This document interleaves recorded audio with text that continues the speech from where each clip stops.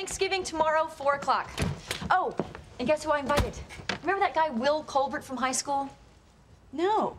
He was in Ross's class, marching band, was kind of overweight. Well, really overweight. I mean, I was his thin friend. Wow, I don't remember him. Honey, are you sure you're not talking about your imaginary boyfriend? No, that was Jared. wow. Haven't thought about him in a long time. anyway, um, Will's Will's here on business, and he didn't have a place to go, so I invited him here. Oh, that's nice. Oh, yeah. Oh, by the way, he's lost a bunch of weight. I mean, he looks good. okay, I mean, really, really gorgeous. I still love Chandler. Wouldn't hurt you to say it once in a while.